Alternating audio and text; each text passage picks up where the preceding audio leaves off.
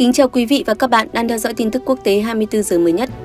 Thưa quý vị, trong 22 năm qua, lực lượng Israel đã lên kế hoạch cho thời điểm này. Nhưng có vẻ như họ sẽ không tấn công các cơ sở hạt nhân của Iran trong đợt trả đũa tiếp theo, hoặc họ sẽ không thành công nếu không có sự giúp đỡ của Mỹ. Vào năm 2022, hàng chục máy bay chiến đấu của Israel đã gầm rú trên biển Địa Trung Hải, mô phỏng một cuộc tấn công vào các cơ sở hạt nhân của Iran. Một cuộc tập trận mà lực lượng phòng thủ Israel công khai nói rằng đó là bài tập về bay tầm xa, tiêm nhiên liệu trên không và tấn công các mục tiêu ở xa. Mục đích của các cuộc tập trận đó không chỉ đơn thuần là để đe dọa người Iran, nó còn được thiết kế để gửi một thông điệp tới chính quyền Tổng thống Biden. Không quân Israel đang tự huấn luyện để tiến hành hoạt động một mình, mặc dù khả năng thành công sẽ cao hơn nhiều nếu Mỹ với kho 30.000 quả bom phá bom ke tham gia cùng.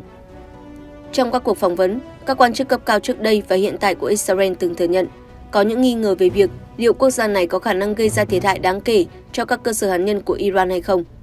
Tuy nhiên, trong vài ngày qua, các quan chức Lầu Năm Góc đã băn khoăn với câu hỏi liệu người Israel có đang chuẩn bị hành động một mình hay không, sau khi kết luận rằng họ có thể sẽ không bao giờ có được cơ hội như thế này nữa.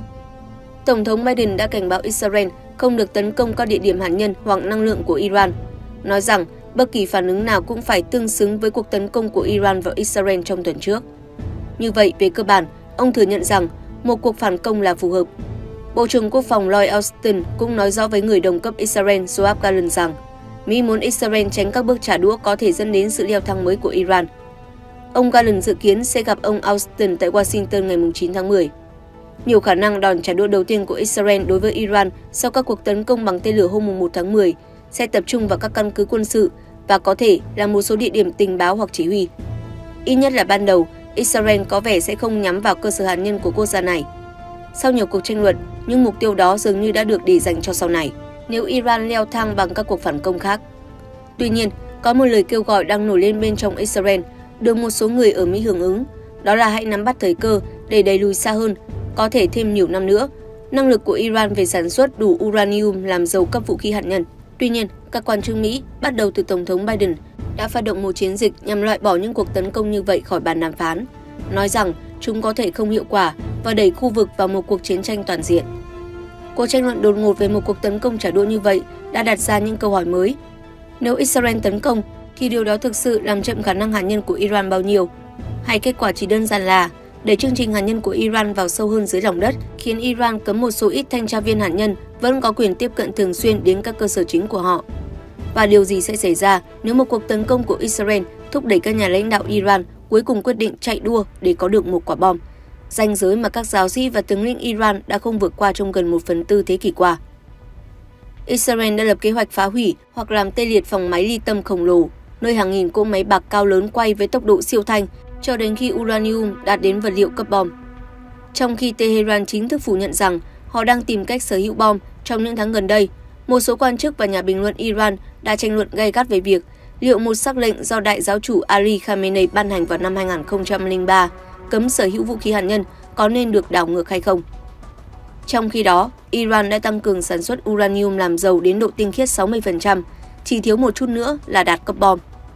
Các chuyên gia tin rằng hiện tại nước này có đủ nhiên liệu để chế tạo 3 hoặc 4 quả bom và việc đưa uranium làm dầu lên cấp độ bom ở mức 90% chỉ mất vài ngày. Mặc dù Nathan sẽ là một mục tiêu khá dễ dàng, nhưng việc tấn công vào đó sẽ là một hành động chiến tranh. Vì vậy trong 15 năm qua, Mỹ đã thúc đẩy các hoạt động ngoại giao, phá hoại và trừng phạt, chứ không phải ném bom, để dừng chương trình hạt nhân của Iran. Và họ cũng tích cực ngăn cản Israel có được loại vũ khí cần để phá hủy một cơ sở máy ly tâm khác, được gọi là Fordow, xây dựng sâu lòng núi. Cựu Tổng thống Mỹ George Bush đã từng từ chối yêu cầu của Israel về việc cung cấp những quả bom phá bom ke lớn nhất của Mỹ và máy bay ném bom B-2 cần thiết để vận chuyển chúng. Những vũ khí đó sẽ rất cần thiết cho bất kỳ nỗ lực nào nhằm phá hủy Fordow và các cơ sở ngầm được gia cố mạnh mẽ. Cựu Thủ tướng Israel Ehud Barak cho biết, tính đến cuối năm 2008, Israel không có kế hoạch khả thi nào để đánh bom Iran. Nhưng họ đã sớm phát triển một số kế hoạch, chẳng hạn như chiến dịch mang mật xanh Olympic Games, một chương trình tuyển mật của Israel và Mỹ nhằm phá hủy các máy ly tâm bằng vũ khí mạng. Hơn 1.000 máy ly tâm đã bị phá hủy bởi thứ được gọi là virus Tunet, khiến chương trình bị chậm lại một năm hoặc hơn. Nhưng Olympic Games không phải là giải pháp hoàn hảo. Người Iran đã xây dựng lại, bổ sung thêm hàng nghìn máy ly tâm. Họ chuyển nhiều cơ sở xuống sâu dưới lòng đất. Và thực tế là mã máy tính độc hại đã thoát khỏi nhà máy và bị tiết lộ cho thế giới, khiến các quốc gia khác tập trung vào việc phát triển các cuộc tấn công cơ sở hạ tầng của riêng họ, bao gồm lưới điện và hệ thống nước.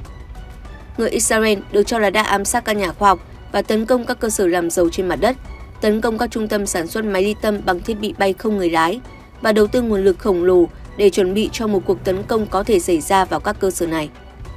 Nhưng những nỗ lực của Israel đã chững lại sau khi chính quyền Tổng thống Obama đã được thỏa thuận hạt nhân với Iran, khiến nước này phải vận chuyển phần lớn nhiên liệu hạt nhân ra khỏi đất nước. Khi ông Naftali Bennett trở thành thủ tướng Israel vào năm 2021, ông đã bị sốc trước sự thiếu chuẩn bị của Israel trong việc tấn công chương trình của Iran và đã ra lệnh tổ chức các cuộc tập trận mới để mô phỏng việc bay đường dài đến Iran cũng như đổ thêm nguồn lực vào công tác chuẩn bị. Dù vậy, ngay cả ngày nay, khả năng của Israel vẫn còn hạn chế. Đất nước này phụ thuộc vào đội máy bay tiêm nhiên liệu trên không Boeing 707 đã cũ và sẽ mất nhiều năm nữa. Các loại vũ khí phá bom ke của Israel đã phát huy hiệu quả trong việc chống lại các loại đường hầm mà Hezbollah cất giữ tên lửa, và chúng đã giúp lực lượng Israel tiêu diệt Hassan Nasrallah, thủ lĩnh Hezbollah, vào tháng trước. Người Israel tin rằng họ có thể phá hủy hệ thống phòng không xung quanh nhiều địa điểm hạt nhân. Thậm chí, họ đã bắn trúng một địa điểm như vậy hồi tháng 4 năm nay. Tuy nhiên, vũ khí Israel vẫn không thể tiếp cận các cơ sở hạt nhân được gia cố chắc chắn nằm sâu trong núi của Tehran. Thông tin vừa rồi đã khép lại chương trình của chúng tôi ngày hôm nay. Những thông tin mới nhất sẽ được chúng tôi liên tục cập nhật trong các chương trình bản tin và tin tức thời sự hàng ngày. Chân thành cảm ơn sự theo dõi và đồng hành của quý vị. Xin chào và hẹn gặp lại.